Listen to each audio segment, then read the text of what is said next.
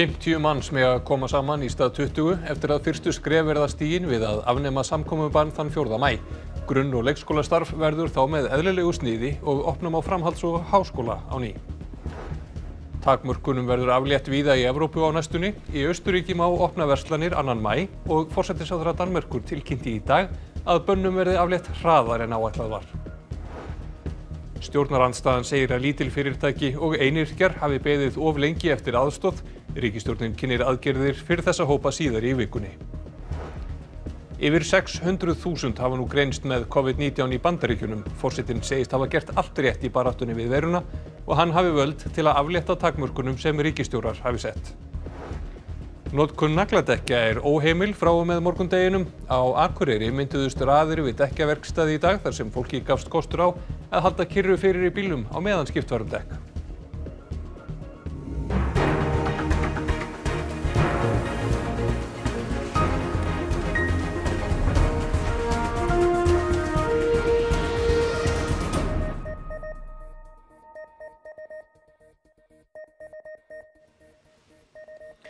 Gott kvöld. 50 manns mega koma saman eftir 4. mæ í stað 20 nú þegar fyrstu skrefið að aflétta samkomubanni verða stíin. Starf grunnskóla og leikskóla verður með hefðbundni sniði en sundlugar og líkamsræktar stöðvar verða enn lokaðar. Dreigið verður úr takmörkunum á samkomum og skólahaldi í stórum skrefum frá 4. mæ. Þetta var kynnt á bladamannafundi stjórnvalda í Safnahúsinu við Hverfiskötu í Reykjavík í dag. Við verðum að klára að fara upp síðustu brekkuna og það þýðir þrjár vikur til viðbótar af samkomubanni, þrjár vikur til viðbótar af mjög hörðum uh, samkomu takmörkum fyrir utan það sem við erum að gera áfram á sviði sóttvarna sem eru greiningar, rakning, sóttkví og einangrun. Helstu breytingar sem taka gildi 4. mæ eru að fjöldamörk samkomiðbanns miðast við 50 einstaklinga í stað 20 áður. Reglur um tveggja metra fjarlægð haldast óbreyttar. Skólastarfi í leik- og grunnskólum verður aftur með eðlilegum hætti. Framhalds- og háskólar geta opnað á ný en þar mega mest 50 verið í sama rými. Ímis þjónusta getur hafist á ný svo sem tannlækningar og sjúkraþjálfun og heilbyrðisþjónusta önnur en valkvæðar skurðaðgerðir. Þá geta hárgreislustofur, nuttstofur, snirtistofur og söfn opnað á ný en halda skal tveggja metra fjarlægð eins og kostur er. Skipulagt íþróttastar verður heimilt utan dyra en með þeim takmörkunum að börn á leik- og grunnskólaaldri mega mest vera 50 saman en aðrir hópar mega mest vera fjórir saman og án snertingar. Sundlaugar og líkamsræktarstöðvar verða áfram lokaðar og eins skemmtistaðir og spilakassar. Við erum að gera þetta hægt til þess að þurfa ekki að stíga skræð tilbaka og þó okkur finnist núna 50 vera láttala þá er það samt umtalsvert meira heldur en 5 eða 2 sem er tala sem að sumir Európabúar eru að uh, láta yfir sig ganga. Þannig að við erum í raun og veru einmitt í krafti þess hvað við höfum verið að ná góðum árangri að þá getum við sagt þetta og við getum líka sagt að grunn og leikskólar geti hafið ótrúblaða starfsemi frá uh, byrjun mæ sem er stort skref, ekki bara fyrir börnin heldur líka fyrir samfélagið allt. Svandís segir að það sé háð aðgerðum erlendis hvenar hægt verður að aflétta ferðatakmörkunum milli landa. Sjáum að sum ríki er ekki einu sinni komin áleiðis með það að, að upplifa sinn topp. Náið verður fylst með áhrifum aðgerðarna og þær endur skoðaðar á þryggja til fjögura vikna fresti. Við erum að vilja stíga þetta skrefi núna, við teljum að það sé óhægt en, en með öllum þeim fyrirvörum sem við hefum sett á þessu hugsanlega þurfum við að á einstakarsstöðum að stíga tilbaka, vonandi ekki, ekki heilsinni en, en það er alveg viðbúið því að, að einhverji staðir uh, komi upp hópsíkingar þar sem þarf að grípa til harðar aðgerð og þá munum við ekki hika við það. Já, þessar aðgerðir eru samkvæmt tilögum sóttvarnarleiknis og hann er hérna hjá mér, Þórólfur Guðnarsson, sóttvarnarleiknir. Er einhverja líkur á því að það verði að gera einhverja breytingar á þessum, þessum áallunum eftir hvernig faraldurinn þróast innan næstu þryggja vekna? Það er frekar ólíklegt en vel að merkja þá á ráðhverja eftir að gefa út sína auðlýsingu, endanlega auðlýsingu sem segir til um hvernig, hvernig hérna, þetta verður nú og, og, og hérna þannig að það getur vel verið að það verið búið að fínstilla ímisatrið þar, það er ekki gott um það að segja en, en það er ekki fyrirhugað að, að, að, að þetta takki sko, gildi fyrir en núna í byrjun mæ. Og hvenar mögum við svo sjá næstu skref vera stíin og, og hvað verður þetta tekið í mörgum skrefum? Já það er svona áformað að þetta verði tekið kannski svona þremur skrefum í sumar og við höfum svona hugsað að þetta verði tekið kannski svona með þryggja vikna millibili, við þurfum að sjá árangurinn á hverju skrefi raun og veru þannig að það fer svolítið eftir því hvernig þetta þróast, hvernig, hvernig hvort að faraldurinn blossar upp aftur eða ekki, hvernig, hvernig næstu skref verða. Þessar aðgerðir eru nú ekki síst til þess að venda þá viðkvæmustu, eldra fólk og, og, og fólk með undirleikandi sjúkdóma þá sem eru á hjúgrunarheimilum. Hvenar munum við sjá að, að þetta fólk geti verið að snúa fullum krafti aftur inn í samfélagi? Já, það er starfsópur í gangi sem er einmitt að skoða akkurat þetta og, og því það er ljóst að við þurfum að, ja, það þarf einhvern veginn að létta á því banni sem er í gangi og það er fullur hugur hjá öllum að geta gert það, nákvæmlega hvernig það verður eða hversu hratt það verður gert, það er ekki gott að segja um að þessari stundu. Samkvæmt minnisblæði þínu til ráþæra að þá leggur til að það verði engar samkomur í sumar með verið 2000 manns. Erum við þá ekki að sjá neinn hátíðarhöld á söndu júni eða stórar útíðháttíðir? Ég ekki nema að það verði færið en 2000 manns. Þetta er svona tillögu mínar og, og, og hérna en þá eftir að ræða þar betur eftir því sem á líður. Hann taldi mikið vegt að við gæfum svona tónin inn í sumarið hvernig þetta myndi verða og, og hérna ég held að við verðum aðeins að sjá til en eins og staðinu núna þá, þá er ekki, ekki áformað að koma með tillögur um, um stærri samkomur. Takk fyrir þetta Þórólfur. En samkomubannið hefur haft veruleg áhrif á skóla og íþróttastarf og því er nú fagnað að það komist brott í eðlilegra horf. En áhrifin á ferðarþjónustuna eru enn gífurleg. Þetta er bara mikið gleðir með að við sem samfélag séum komin að þennan stað að geta hortið þess að opna skólan okkur aftur. Þetta skiptir náttúrulega miklu máli fyrir, fyrir börnin, bæða komast í meiri reglu og, og geta lokið skólaárunum með svona nokkuð formlegum og, og svona vennjuböndum hætti og fyrir sko, leikskólaböndinu geta aftur verið með öllum, öllum vinnum sínum. Skólastarfi í grunnskólum verður með eins eðlilegum hætti og kostur er, þótt fara eigi betur yfir einstaka atriði eins og sundkennslu, en skólaárinu líkur á tilsettum tíma. Helgi segi viðbúið að einhverjir kunni að vera aukandi við því að senda börnin aftur í skóla. Við hvetjum fólkdrar sjálfsögðu til þess að, að, að börn komi í skólan og, og því það er nú skólaskylda hér á landi og, og við veitum hvað námið og þetta skiptir börnum miklu máli. Samkomubannið hefur raskað allri íþróttastarfsemi í landinu. Knatsbyrnuvertiðin er að fara í gang og formaður KSI fagnar því að æfingar, barna og úlinga geti hafist af krafti eftir 4. mæ. Þó er óvíst hvort barnamót sumarsins geti farið fram. Það er nú verið að tala um kannski að, að samkomur umfram 2000 manns séu nú ekki æskilegar mögulega í sumar eins og umræðin er búin að vera. Þannig að það myndi auðvitað setja strikk í rekningin með, með mörg þessara krakka móta þannig að við verðum bara að býða og sjá. Æfingar fullorðina ættu að geta orðið með eðlulegum hætti í lok mæ og horfir guðinu til þess að Íslandsmótin geti hafist þegar líður á júni. Líkur eru á að leikið verði án áhorfenda til að byrja með. Þegar við þyrtum að gera það, þá myndum við gera það þegar við viljum e, fyrst og fremst auðvitað bara hefja mótið og klára mótið og spila mótið auðvitað í ár. Frankondastur í samtaka ferðarþjónustunar segir ánægilegt að byrja sé að aflita hömlum. Þessi fyrstu skref gætu komið veitingahúsum til góða en stærstu spurningunni sé þó enn ósvarað. Það er hvernig erlendi ferðamenn komið á ný. Þess vegna var kannski það sem okkur vant að heyra ekki á fundinum í dag. Það er að segja hvort að til stendur að setja einhverjar hömlur á komu ferðamanna til landsins, hvort sem það er sótt kví eða, eða annað.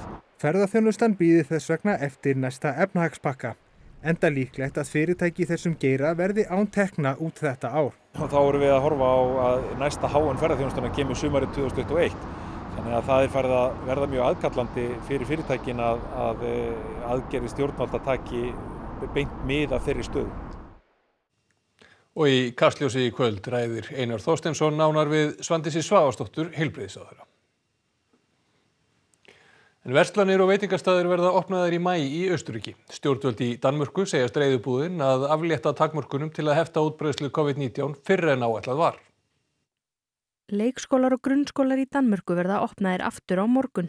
I dag færði Mette Frederiksen löndum sínum svo fleiri glæðifrættir. Nú sér myndighederne så, at tallene indtil nu er fornuftige, faktisk øh, overraskende, og derfor bliver der altså plads til lidt mere aktivitet. Og så melder det naturlige spørgsmål sig jo så igen, hvad er det så for en aktivitet, vi den her gang vil, vil åbne for?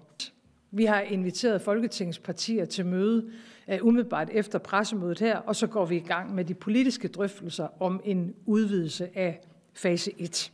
Á Spáni hafa nokkrar starfstjættir fengið að mæta aftur til vinnu. Þeirra á meðal smiðir og starfsmenn verkstæða og verksmiðja. Í gær tilkynnti Emmanuel Macron fósetti Fraklands að útgöngubann þær í landi verði gildi til 11. mæ. Stentir að því að í kjölfarið verði skólar opnaðir á ný. On va élaborer toute une méthodologie, d'abord de contact avec la famille en effet, et ensuite de retour progressif scolarisation, euh, qui, qui passe vraiment forcément par de très grands aménagements. Personne ne peut imaginer qu'en mai-juin ce sera exactement comme, comme avant, pas du tout. Stjórnvöldi í Östuríki tilkynnti í dag um tilslaganir þar í landi. Stemt er að því að opna megi vestlanir aftur annan mæ og veitingarstaði um tveimur vikum síðar. En eftir sem áður gildir. Denken Sie daran, meine sehr geehrten Damen und Herren, die Ausgangsbeschränkungen sind weiter in Kraft, sind wichtig. Der Sicherheitsabstand, der berühmte Meter, ist so wichtig, um Infektionsketten zu durchbrechen. Ja, eigentlich sind wir hoffnungsvoll. Die Leute waren jetzt wie eingesperrt. Wir haben schon einige Anrufe und einige E-Mails mit Anfragen bekommen. Die Leute haben eigentlich Lust auf Sommerkleider und ja, wir sind hoffnungsvoll.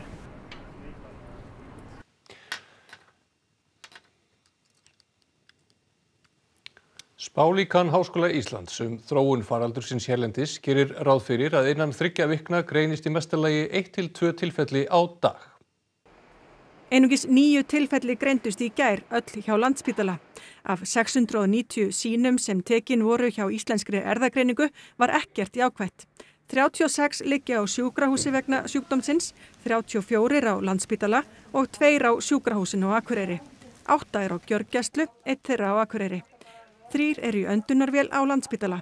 Meira en þúsund er batnað. Sankant nýju spálíkani Háskóla Ísland sem kom út í dag er útlitt fyrir að ný greint smitt nái lágmarki um næstu mánaðamót.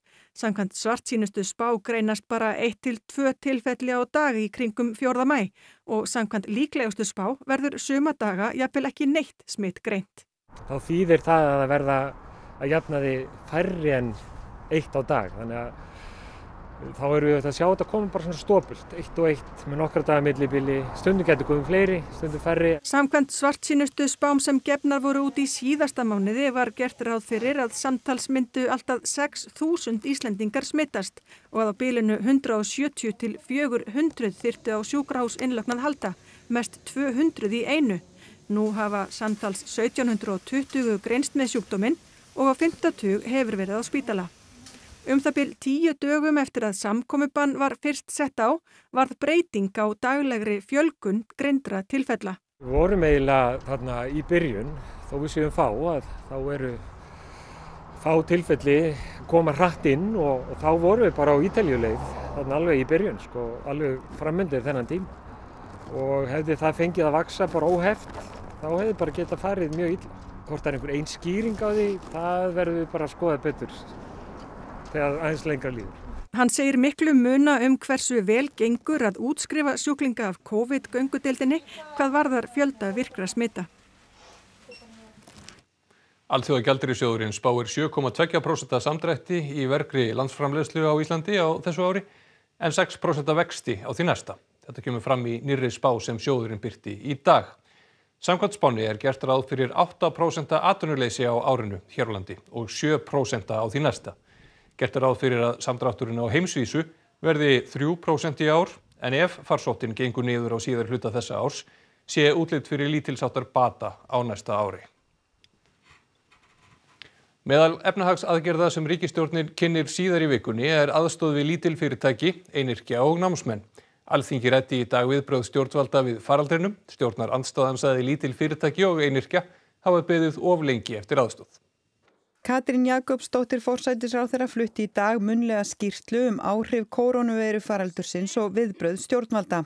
Hún sagði að frekari aðgerðir eru þau kynntar til aðstóðar litlum fyrirtækjum sem þurftu að loka vegna sóttvarnaráðstafna, einirkjum og sjálfstætt starfandi og námsmönnum sem ætti erfitt með að finna sumarstörf en einnig fleiri hópum. Katrín sagðist ánað með samstöðun í samfélaginu á tímum faraldursins og að fólk og fyrirtæki hafi sínt mikla ábyrð. En þá verður maður líka reyður þegar fyrirtæki í sjávarútvegi gera kröfu á ríkið upp á ríflega 10 milljarða vegna makrílúthlutunar. Það er ekki góð leið til að efla samstöðu í samfélaginu. Það er ekki góð leið til að vera á sama báti í gegnum þetta ferðalag sem við erum stödd í. Og þó að ég telji að ríkið hafi góðan málstað í þessu máli þá finnst mér eðlilegt að þessi, þessi fyrirtæki íhugi það að draga þessar kröfur tilbaka. Stjórnaranstaðan kallaði eftir meiri samfunnu stjórnar og stjórnaranstöðu og sagði að aðgerðir sem gögnuðust litlum fyrirtækjum og einirkjum hefðu beðið of lengi. Formaður miðflokksins sagði þörf á umfangsmeiri og almennari aðgerðum. Því að við aðstæðir sem þessar er ekki sveigurum til þess að fara í floknar útvæslur, jafnvel að því marki að það geti tekið vikur eða mánuði að leysa úr til að mynda vanda fyrirtækja sem að standa frammi fyrir uppsögnum, jafnvel gjaldþroti innan skamms tíma. Formaður viðreisnar sagði mikilvægt að tryggja gegnsæi í öllum aðgerðum og gera kröfu um samfélagslega ábyrð fyrirtækja. Það þarf að vera alveg skýrt frá upphafi hvernig leikregluna verða við endurreist atvinnulífsins. Að sömu leikreglu gildi fyrir alla, hverjir fá hvað, á hvaða forsendum, af hverju, eftir hvaða reglum, engu verður lengt Nýr þingmaður viðreistnar tók sæti á alþingi í dag, Þorbjörg Sigurður Gunnlaugstóttir sem tók við sæti Þorsteins Víglundssonar sem sagði af sér þingmennsku. Bandaríkjafórseti segist hafa gert allt rétt til að verja landið fyrir COVID-19 faraldrinum en fjölmiðlar hafi ekki sagt frá því. Þá geta hann aflétt takmörkunum sem ríkistjórar hafi sett. Yfir 600.000 manns hafa greinst með sjúkdómin í landinu og hátt í 25.000 látist. Donald Trump held sinn daglega bladamannafundi í gerkvöld um baróttuna við koronaveiruna. Þar síndi hann myndband sem hvítahúsið hafi tekið saman sem átti að sína að Trump hefði brugðist fljótt við og líkt því sem gaggrinendur hans halda fram. Fjölmiðlar fengu sinn skerf af gaggríninni þar. How worried should Americans be about coronavirus? Coronavirus is not going to cause a major issue in the United States. Myndbandi þótti minna meira á kostningamyndband en kynningu frá fósetaðinbettinu. They said I acted late on closing down the country. Uh, some people wish we never closed it down. Now, if we didn't, we would have lost hundreds of thousands of people. You know, interestingly, so I'm, I'm against it. We did the right thing. Everything we did was right. Trump rætti einnig afléttingu á takmörkunum sem ríkistjórar hafa ákveðið í sínum ríkjum. I'm going to put it very simply. The President of the United States has the authority to do what the President has the authority to do, which is very powerful. The President of the United States Ríkistjóri New York, þess ríki sem hefur hefur vest úti, gaggrínir afstöðu fósittans. It's not the law, it's not the constitution, we don't have a king, we have a president. Why didn't he have authority to close the economy? Why did he leave it to the states and to the governors to close it down? Why did he take the position that, well, it's up to the states to buy medical equipment, etc.? Uh, it's not my responsibility, it's all the states. Now, this is a total 180. All of a sudden, he's in, in charge of uh, reopening. Lögsbyggingar hafa einnig dreyið þessa tólkun Trumps í Eva. Hvað sem þessu líður hafa heilbriði segjuðvöld líst því yfir að toppurinn á faraldrinum sé í auksin í bandaríkjónum. Það sjáist meðal annars á færri innlögnum á sjúkrahús. Engu er þó lofað um hvenar lífið færist í eðlilegt horf. Konan sem leitað hefur verið að frá því aðfarnótt lögardags fannst látin á þriða tímanum í dag í fjörunni á Altanesi, ekki langt frá upphafstað leitarinnar um helgina. Í tilkynningu frá lauruglunni á höfuborgarsvæðinu kemur fram að ekki sé talið að andlát þennar hafi borðið að með sagnæmum hætti. Það var nóg að gera á dekkjaverkstæðum í dag en notkun nagladekja er óheimil frá með morgundeginum. Á Akureyri gafst fólki kostur á að fá ný dekk án þess að fara út úr bílum. Á Akureyri byrjuði að myndast raðir við dekkjavestaði snemma í morgun. Þjónustan var þó með breyttu sniði eins og annað í þjóðfélaginu um þessar myndir. Við erum með tvo aðgreinda hópa í fyrirtækinu og síðan erum við komin með sagt sölukerfi á posa út þannig að við getum afgreitt viðskiptavinnina hérna í röðinni. Þannig í rauninni þurfa viðskiptavinnir ekki að fara inn í afgreiðslu og þeir þurfa í rauninni ekki að fara út úr bílum. Fólki finnst þetta skrítið og sumir hafa náttúrulega vilja að fara aðeins að lappa út og, og við, það er bara ekkert mál. Í reglugerðum nagladekk segir að notkun þeirra sé óheimil frá 15. apríl til 31. oktober. Þó megi nota nagladekk utan þess tíma ef þess gerist þörf vegna aksturs aðstæðana. Ekki er hefð fyrir því að lauruglan sekti fyrir slík brot fyrstu vikurnar eftir að banni tekur gildi. En 80.000 krónar sekt er annars við því að akaum á nagladekkjum á tímabilinu. Þetta gekk bara skafið. En hvað finnst þér um þetta nýja kerfið? Þú bara sittur í bílum og þarf aldrei að fara út. Það er bara fínt. En ert að fara af nagladekkjum? Já. Ertu ekki trættur um að þurfa að mæta aftur í næstu viku og henda þeim á? Nei, nei, nei. Ég er með annan bíl sem verður á nöglum.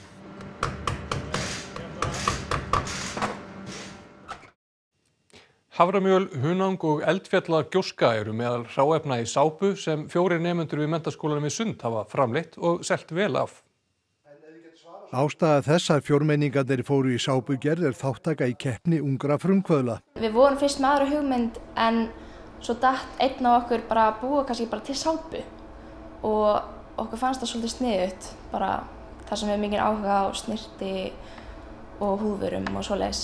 Það segast ekki að vita fyrirfram hvernig sápur væri búinar til og það leituði því til kunnáttufólks og víðar. Við skoðum á netinu hvernig maður á að gera sápur og hvernig láta þetta virka og stundum hérna, þurfa hlutverðin að vera alveg rétt, það skiptir miklu meira máli en við heldum. Þannig nei, við kunnum þetta ekki fyrst en við erum svo sem búin að mestara þetta núna. Sko. Það leituði víða fanga með ráefni í sápuna sem eru sápugrunnur, havrar, kókósolja, möndluolja og lavender ilmkjarnaolja og svo líkilatriðið aska úr Eyjafjallajökulskosinu sem þær segja nöðsilega til að skrúpa húðina. Þær segja sápuna nýtast vel núna þegar mikil áherslu er lögð á handþvótt og hreinlæti því hún hreinsi vel en komi líka í veg fyrir þurra húð. Þær hafa selt sápun á samfélagsmiðlum og óhætt er að segja að viðtökurnar hafi verið góðar. Já, í rauninni við ætlum að meða við 100 stykki og við erum alveg búin að ná því. Við getum haldið áfram framlýslu núna, eigum í nokkra rauka. Þið ætla að halda þess áfram? Já, eitthvað bara að halda eftirspunninni. Þær stöllur útskrifast frá mentaskólanum við Sundi í vor. Þrátt fyrir góðan árangur við sápugerð og sölu, higgja þær ekki á námi í neinu slíku, en þær gerir sér vonur um að verkefnið skili hins var góður í engun. Jú, ég held að. Við vonum það allavega. Kennarinn okkar er alltaf mjög ánægð með okkur og, og hos okkur, þannig að við búumst alveg við ágættir ykkur, sko. Það er alveg að halda það. Og þá að veðri. Það hefur blásið hressilega víða um land í dag en myllt var þó á lálendi og náði hiti hæst 13 stigum á austanverðu landinu.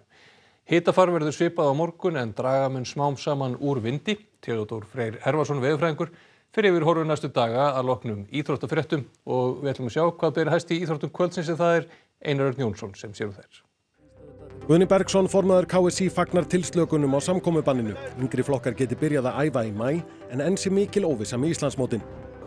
Bræði Þorfinnsson, stórmeistari í skák og nýbakaður norðurlandameistari, segir netmót í skák skemmtilega viðbót við flóruna en saknar þess þó að hafingan anstæðing sjáanlegan handan borðsins.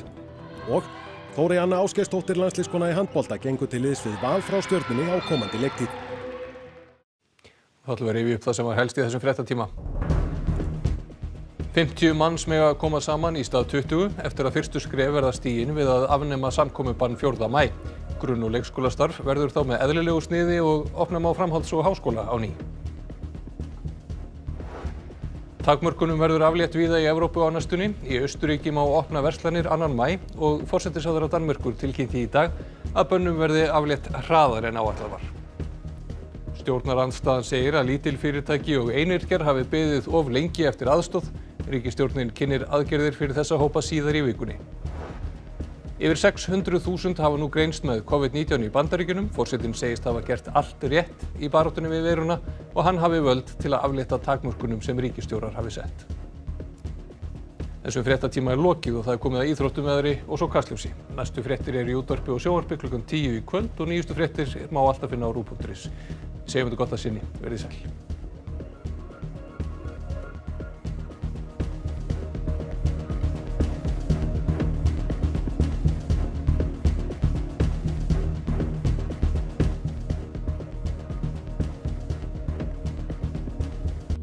Á RÚF í kvöld. Að sjá hið ósýnilega er heimildamyndum konur á einhverfurófinu. Varpað er ljós